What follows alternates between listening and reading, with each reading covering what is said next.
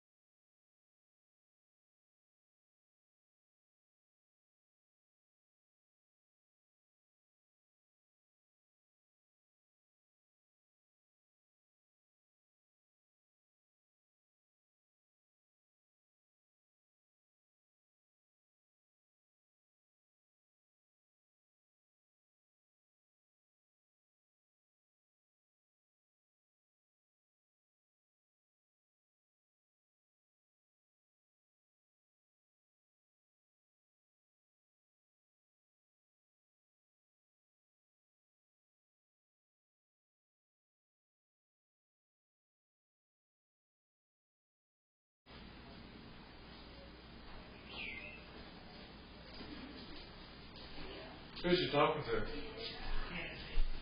Kathy. Oh, okay. You okay?